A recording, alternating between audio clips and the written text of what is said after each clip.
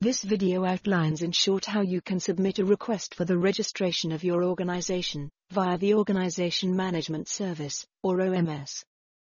In order to be used in CTIS, organizations need to be registered through the OMS database which is managed by EMA. There are two ways of submitting such a request. You can submit a request to OMS by following the relevant instructions on the EMA website.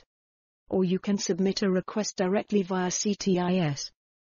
In CTIS, the request to register a new organization, or to add a new location to an existing organization, can be submitted by using functionalities that in the first place, enable user to search for organizations. Such feature that allows user to search for organizations can be found for example, in the sponsor workspace, in the beginning of creating a new clinical trial.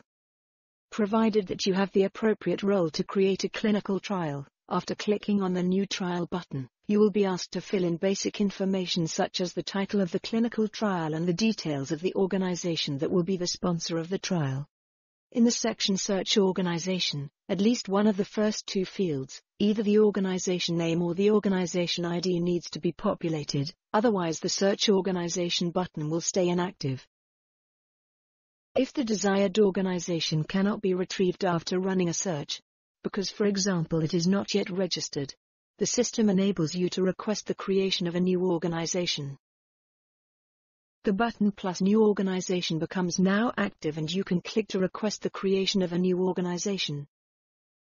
A registration request appears, and you will be asked to fill in your personal details, needed in case of follow-up questions with the registration process, and the details of the organization that you wish to register.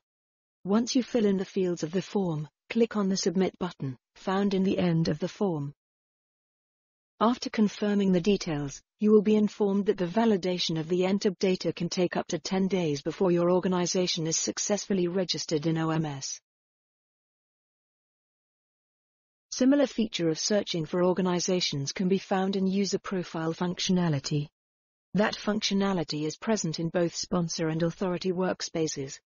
You can submit the request in the user profile functionality, in the Update My Employer Information section.